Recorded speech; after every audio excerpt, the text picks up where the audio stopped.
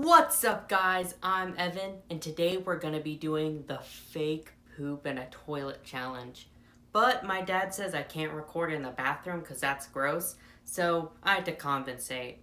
Okay guys, the bathroom is right there. I put the fake poop in the toilet and I got my friend Dan to come over to see if he'll go to the bathroom. I set up this hidden camera to see if we can catch him. Is that a camera?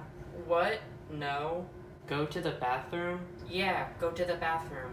Okay.